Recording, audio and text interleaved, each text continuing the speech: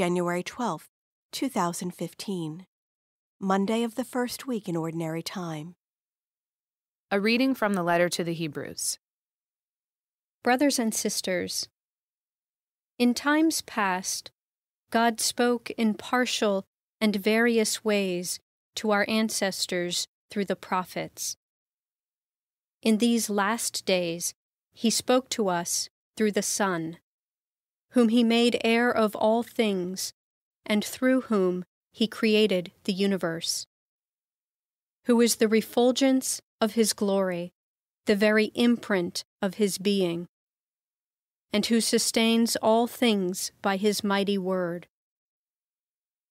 When He had accomplished purification from sins, He took His seat at the right hand of the Majesty on high as far superior to the angels, as the name he has inherited is more excellent than theirs. For to which of the angels did God ever say, You are my Son, this day I have begotten you? Or again, I will be a father to him, and he shall be a son to me. And again, when he leads the firstborn into the world, he says, Let all the angels of God worship him. The Word of the Lord. The responsorial psalm.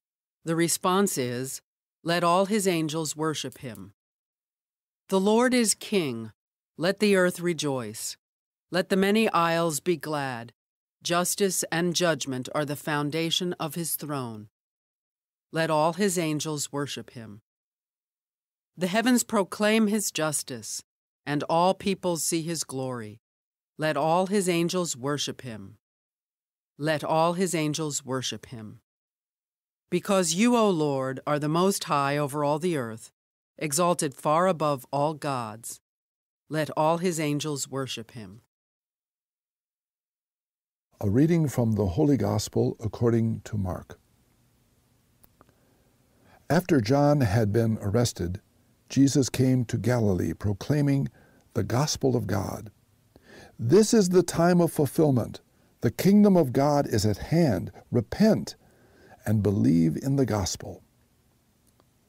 As he passed by the Sea of Galilee, he saw Simon and his brother Andrew casting their nets into the sea they were fishermen. Jesus said to them, Come after me, and I will make you fishers of men. Then they left their nets and followed him. He walked along a little farther and saw James, the son of Zebedee, and his brother John. They too were in a boat mending their nets. Then he called them. So they left their father Zebedee in the boat, along with the hired men, and followed him the gospel of the Lord.